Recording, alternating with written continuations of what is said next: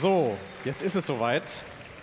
Guten Morgen. Das Orchester hat eingestimmt und der Konzertmeister hier neben mir, der Götz, er hat von der Oboe den Ton übernommen und gibt ihn an das ganze Orchester weiter. So sind die in einer guten Stimmung und ihr hoffentlich auch für ein tolles Werk. Aber bevor dieses Orchester anfangen kann, brauchen wir einen Dirigenten. Und der kommt heute Morgen aus Wien, Christian Arming. Herzlich willkommen.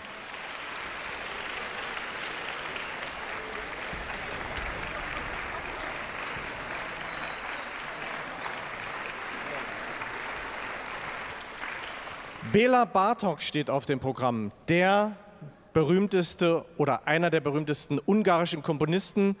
1945, gerade am Kriegsende, ist er gestorben und er war ein Musiker, der eine raue Klangsprache entwickelt hat und vor allem wahnwitzige Rhythmen und Rhythmenwechsel.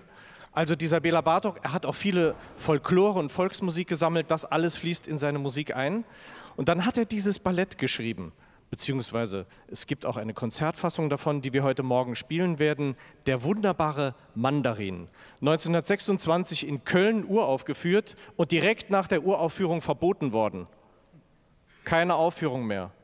Was muss ein Werk haben, dass es verboten wird?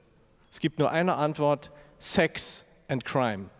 Und davon sollten die Menschen damals nicht verdorben werden und ihr natürlich auch nicht aber ihr erlebt es trotzdem heute Morgen. Sex and Crime, der wunderbare Mandarin. Das hat nichts mit Mandarine zu tun. Ja? Mandarin, das ist in China ein Ehrenamtsträger, ein hoher Ehrenamtsträger. Und was hier passiert, das werdet ihr gleich sehen. Kino im Kopf heute Morgen. Und zwar beginnt das Ganze, stellt euch vor, eine düstere Absteige in einer Großstadt. Wie ich darauf komme?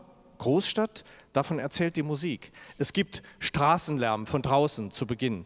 Wir hören ratternde Räder auf Kopfsteinpflaster. Wir hören Gewimmel, Getümmel, Schreie. Wir hören auch schon Autohupen in dieser frühen Zeit. Und dann hebt sich der Vorhang. All das in der Musik am Anfang. Straßenlärm.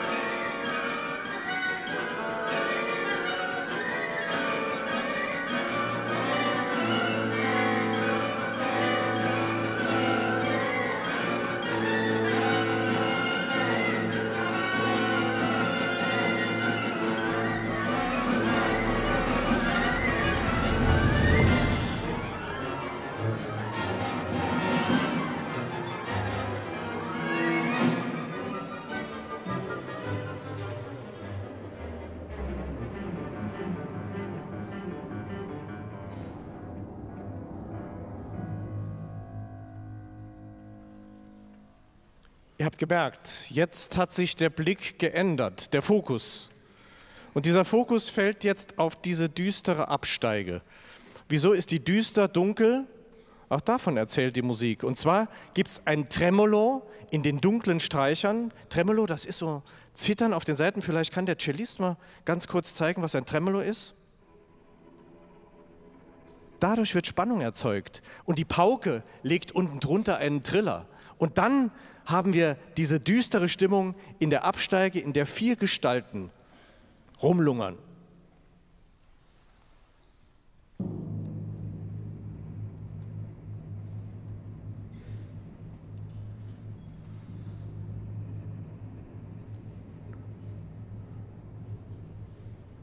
Das ist die Stimmung. Und ich habe gesagt, vier Gestalten. Zum einen eine Frau, sie heißt Mimi, Und zum anderen drei ganz dunkle Gestalten, drei Schurken, drei Verbrecher, drei Ganoven, wie ihr möchtet. Und der eine steht gerade da und kramt in seinen Taschen und macht fragende Gesten. Kein Geld, kein Geld. Und den seht ihr hier in den Bratschen, in der Bratschengruppe, der erste Verbrecher.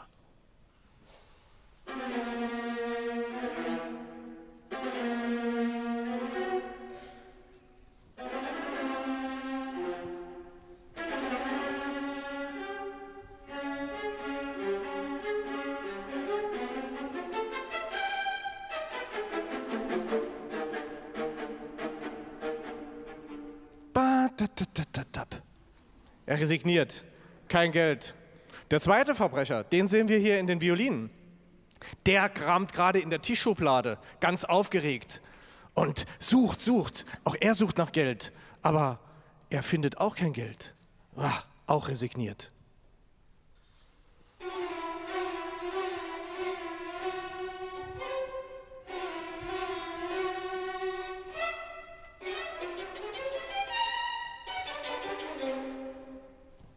Und dann haben wir noch den dritten. Der dritte ist ein schwerer, fetter Sack. Ja? Der sitzt auf dem Bett und er ist eigentlich der Anführer. Er steht gerade auf, die Musik bewegt sich nach oben und was brauchen wir für einen fetten Sack? Die Posaunen und die Tuba. Könnt ihr mal aufstehen? Gerade Posaunen, Tuba? Ah, okay. Ja, genau. Das ist der dritte Schurke. Der steht auf, die Melodie bewegt sich nach oben und er sagt zu Mimi, du musst uns Geld beschaffen. Du gehst jetzt ans Fenster und lockst Männer herein. Und das machst du, wenn ich dir sage. Ist das alles klar? Der dritte Schurke.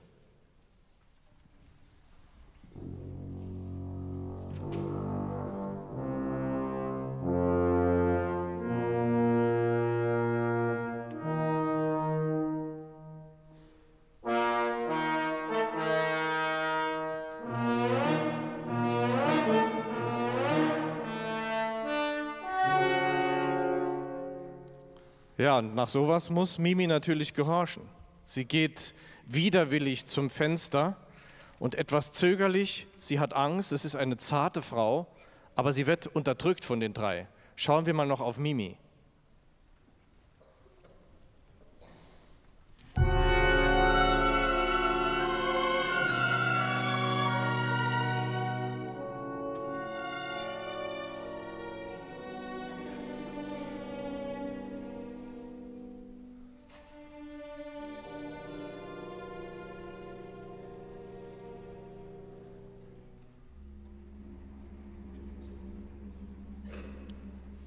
Die dunkle Atmosphäre. Mimi, er merkt, das ist ein Schicksal, was hier hinter diesen Tönen steckt. Und das ist auch ein Schicksal einer Frau. Einer, die zur Prostitution gezwungen wird. Jetzt kennt ihr alle vier Handelnden und jetzt hört euch mal nochmal den Anfang an im ganzen im Zusammenhang. Mit dem Tutti nennt man das, wenn alle zusammenspielen, ja? Also zuerst der Straßenlärm, der Vorhang geht auf, wir sehen in den düsteren Raum, erster, zweiter, dritter Verbrecher und Mimi, die zum Fenster geht.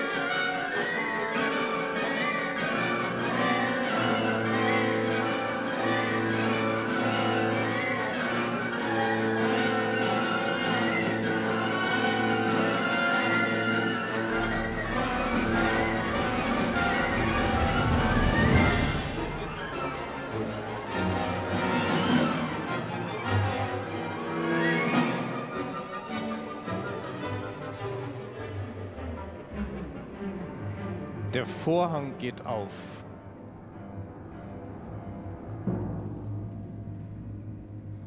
Die düstere Absteige. Der erste Verbrecher.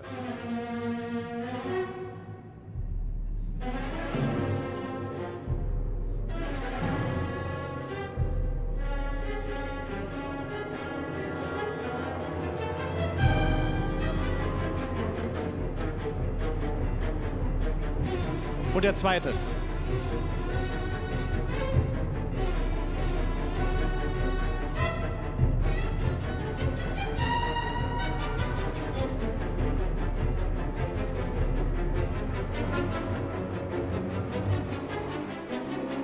Und der dritte in den Posaunen.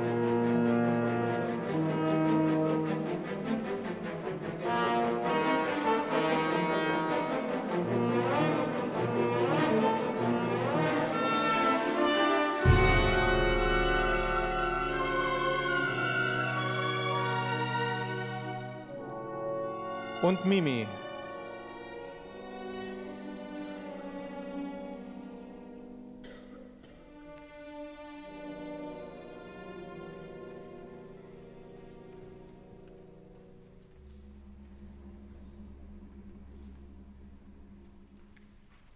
Wie lockt man im Orient eine Schlange aus einem Gefäß?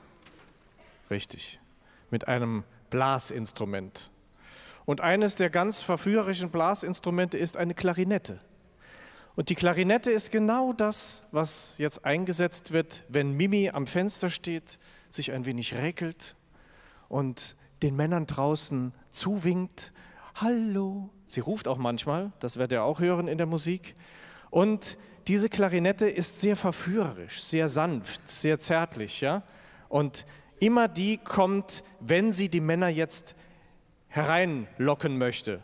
Es ist, sie ist noch etwas verhalten, aber dann plötzlich kommt ein Mann und er kommt auch direkt die Treppe hoch.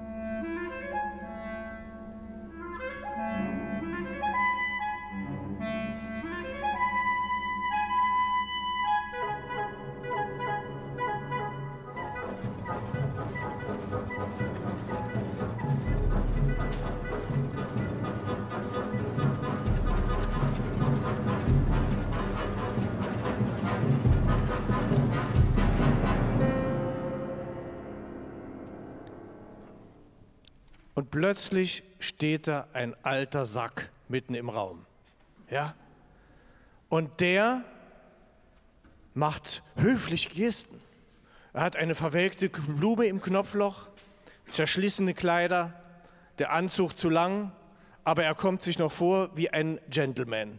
Aber er ist einer von, Gott, von über vorgestern. Und der alte Sack, er möchte natürlich Liebe haben. Und er macht Mimi den Hof. Und die Posaunen stecken den Dämpfer in ihr Instrument und stellen diesen Alten dar. Grotesk, aufdringlich, lächerlich.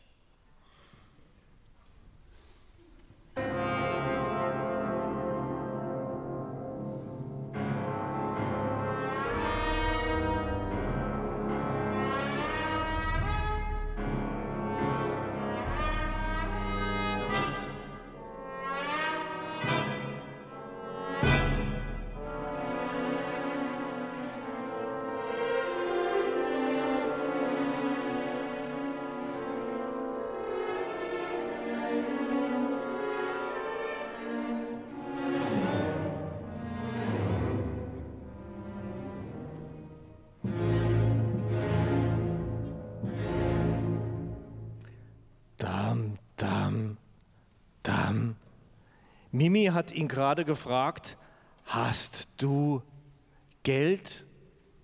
Bartok hat das toll gemacht, ja? Hast du, Pause, Geld? Aber er antwortet, Geld. Kein Geld, nein, die Liebe. Die Liebe zählt. Ich gebe dir Liebe. Und er fängt an rumzusülzen. Und was er da sülzt, das hört ihr im Englischhorn. Das ist so ein bisschen größer als die Oboe und einen bisschen sülzigeren Klang. Und damit sülzt er dieser Mimi seine Liebessachen ins Ohr. Hört nur mal das Englischhorn alleine.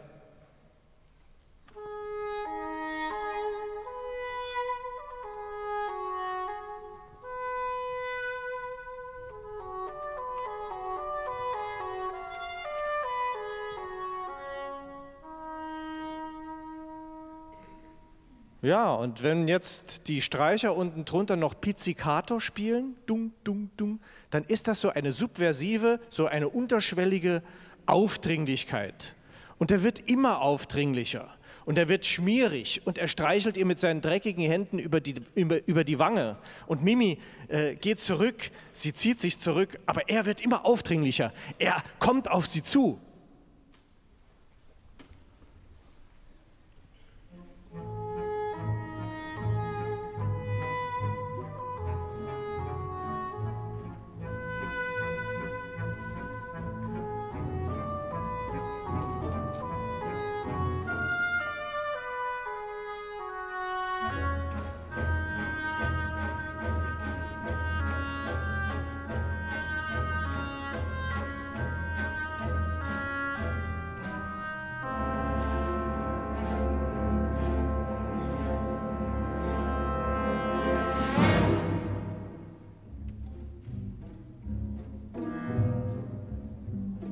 Jetzt kommt er immer näher.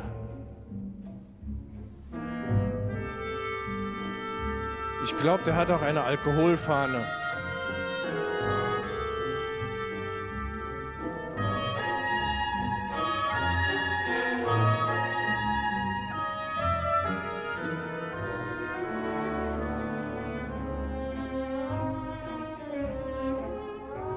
Och, jetzt klagt er noch ein bisschen was vor.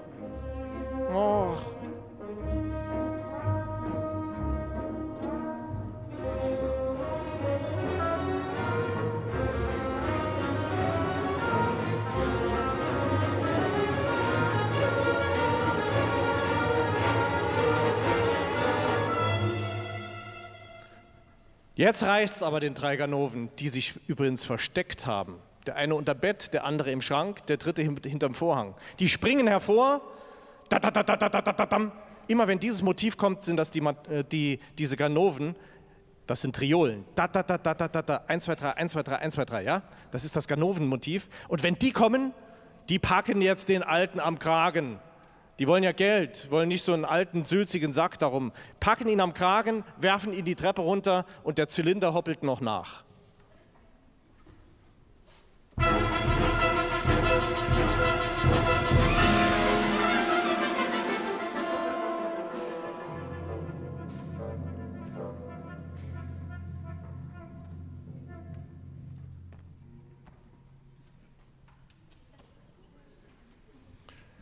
Ja, Mimi muss noch mal ran. Ja? Geld muss in die Kasse. Sie stellt sich also wieder ans Fenster. Die Klarinette kommt dazu, natürlich. Sie lockt wieder, aber sie hat schon ein wenig Erfahrung jetzt, wie sie das macht. Und sie lockt und lockt und räkelt sich wieder. Das Ganze verdichtet sich ein bisschen und dann plötzlich sieht alles anders aus.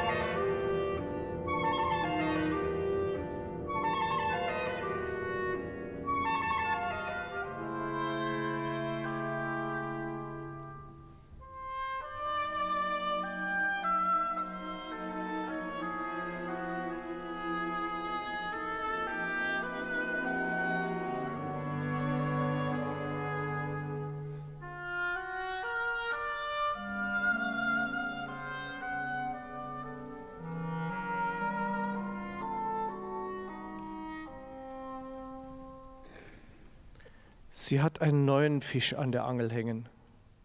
Er steht auch im Zimmer, aber es ist eine ganz andere Erscheinung. Blond, hübsch, groß, schüchtern, jung, verliebt. Und er schaut sie an mit großen Augen und sie schaut zurück. Das ist eine ganz andere Situation.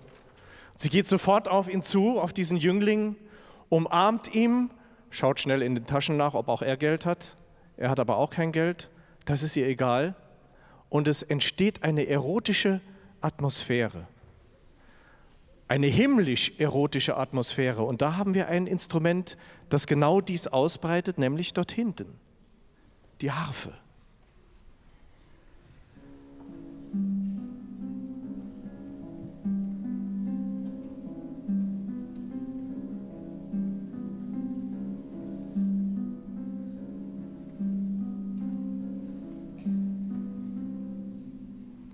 Und über diesen schwebenden Hafenklängen fangen die beiden an zu tanzen.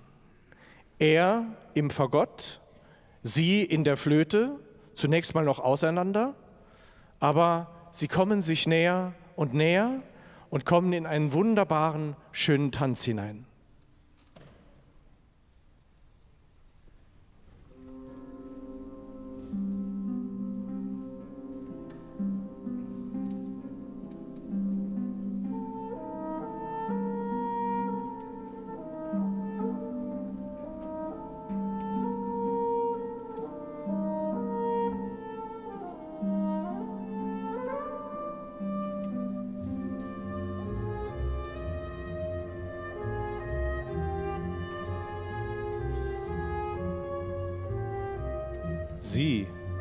Flöte.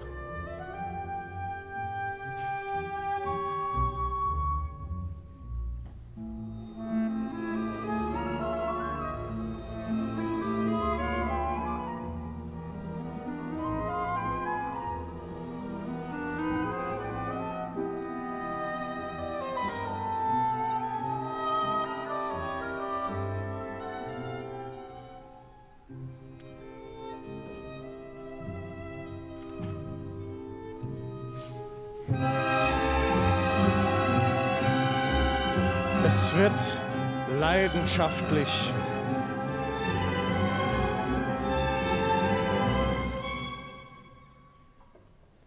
Sie tanzen zusammen und es wird immer leidenschaftlicher. Aber das wollen die drei natürlich auch nicht in ihrem Versteck.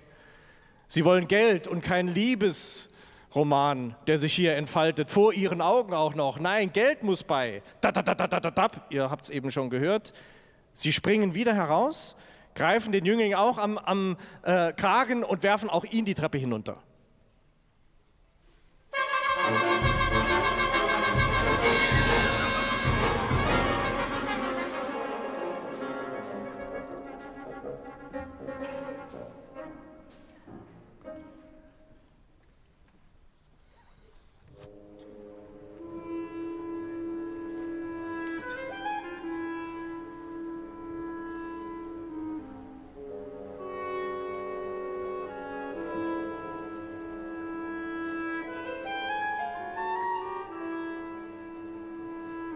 Tremolo in den Streichern, die Klarinetten.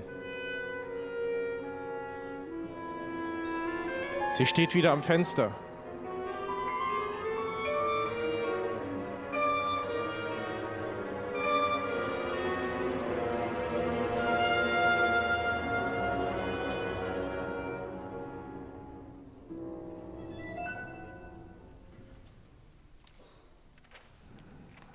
Sie steht wieder am Fenster. Und sie lockt wieder. Und jetzt wird alles anders. Jetzt kommt plötzlich jemand die Treppe hoch, der steht dann da und steht da wie ein großes Monument, der Mandarin. Mit seinen Fischaugen und in seiner Statur, die einem Angst macht.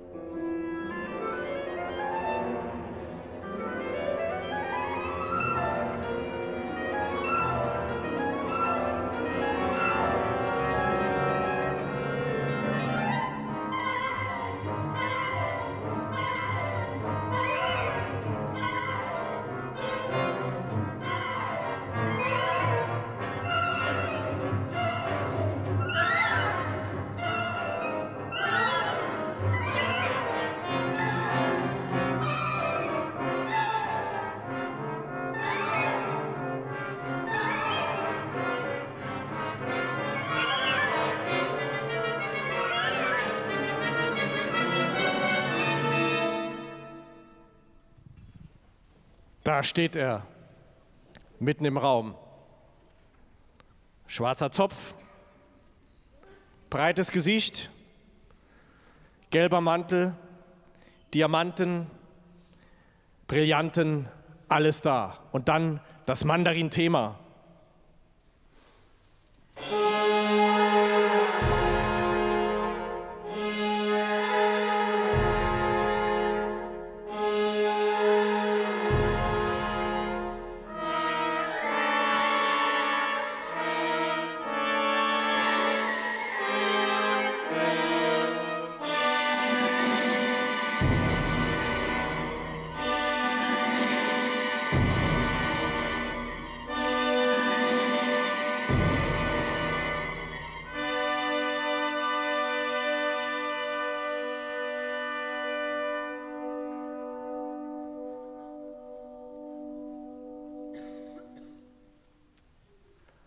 Ein Monument, aber furchterregend. Mimi verzieht sich in die letzte Ecke ihres Zimmers. Ihr habt gemerkt, wie sie sich zurückzieht. Und er steht einfach da und schaut sie an mit durchstarrendem Blick. Und dann denkt sie dran, was ihre eigentliche Aufgabe ist. Sie muss verführen. Und sie fängt an. Sie fängt an, ein wenig zu tanzen. Sie tanzt um ihn rum. Eigentlich ein wahnsinniger Tanz, ein grotesker Tanz. Sie fängt an, einen Walzer zu tanzen um ihn herum. Sie berührt ihn. Sie fängt an, hysterisch zu lächeln. Und sie tanzt sich da in ein Schimmern und Schillern um seinen Anzug herum. Und das ist eine Szene, in der alles durcheinandergewirbelt wird. Und auf dem Höhepunkt dieser Szene landet sie bei ihm auf dem Schoß also ganz dicht bei ihm.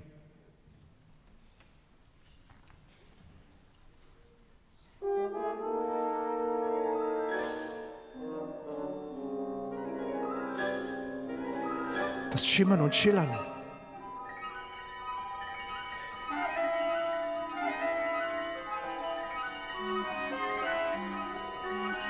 Sie denkt dran, sie muss verführen. Was macht sie?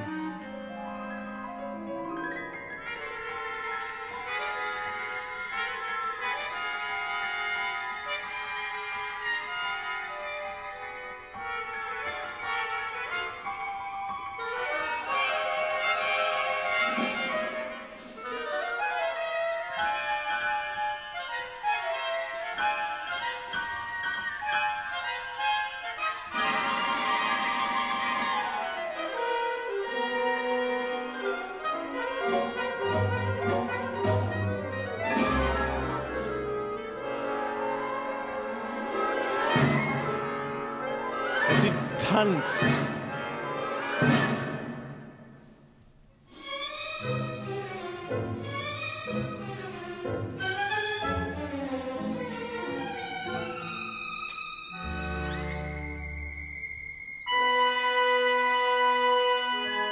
Er bleibt stehen.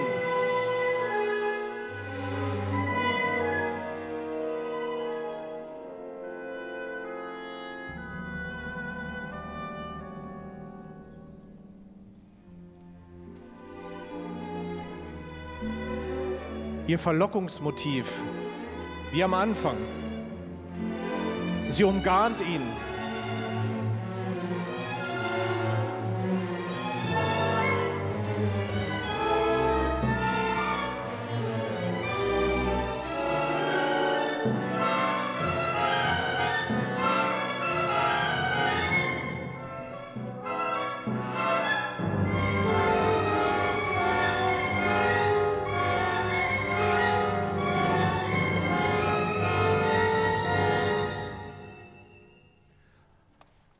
Und jetzt ist sie auf seinem Schoß gelandet und es passiert, was passieren muss.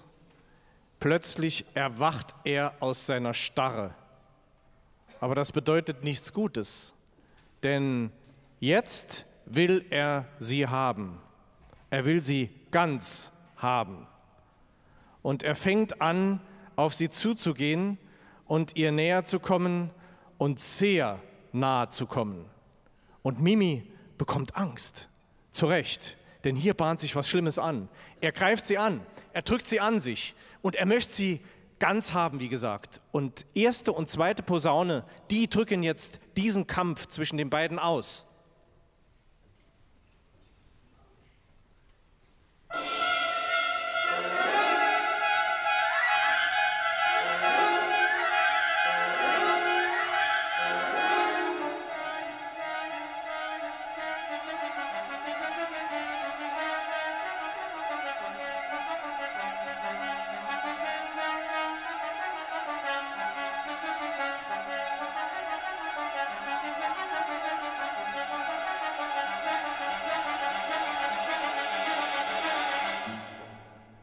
Und jetzt sind alle animalischen Bewusstseinskräfte im Tiefen in ihm erwacht. Hier, der Mandarin. Er will sie haben. Und eine wilde Jagd beginnt durch dieses Zimmer. Sie flieht, er hinter ihr her, über den Teppich, über den Tisch, über das Bett. Eine wilde Jagd, die dargestellt wird in Cello und Bratschen mit einem kantigen, zackigen, fliehenden Thema.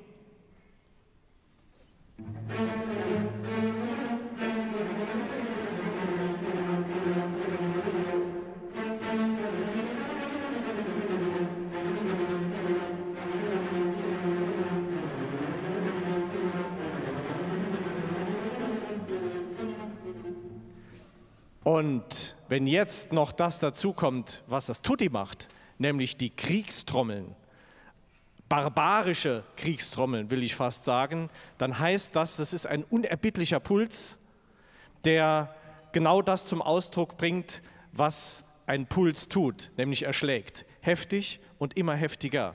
Und die beiden jagen sich auf unglaubliche Art und Weise und jagen sich auf einen Höhepunkt in diesem Stück und des Schicksals des Mandarins und Mimis sowieso entgegen. Eine Jagdszene, wie Bartok sie geschrieben hat, an dieser Stelle, die einem eiskalt über den Rücken läuft.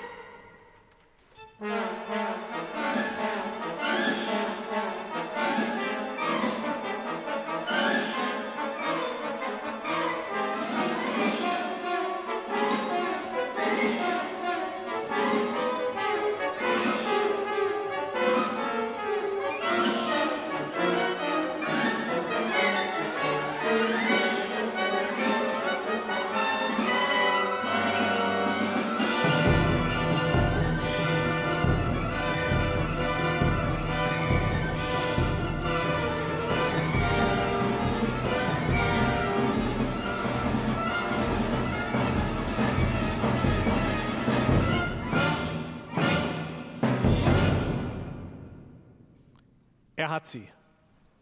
In diesem Moment hat er sie und in diesem Moment ist die Konzertfassung zu Ende. Könnt ihr euch das vorstellen?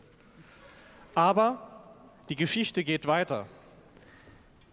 Die drei Ganoven merken, jetzt ist die ganze Geschichte auf dem Höhepunkt, auf dem Siedepunkt, jetzt müssen wir eingreifen. Sie springen zu und greifen ihn, werfen ihn aufs Bett und ersticken ihn.